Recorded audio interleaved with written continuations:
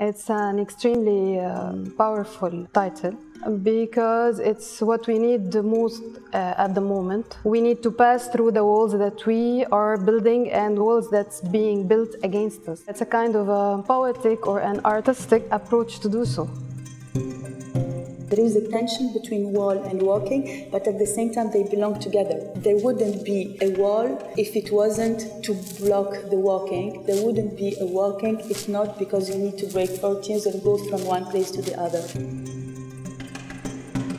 On the one hand, it's really abstract when you consider walls as some kind of barrier or something which is in your way. But on the other hand, it's very concrete, something which surrounds you, which gives you shelter. It's very charged, the location, and taking in consideration the location of Martin Gropiusbau in the sense that where it's placed, uh, kind of parallel to the Berlin Wall.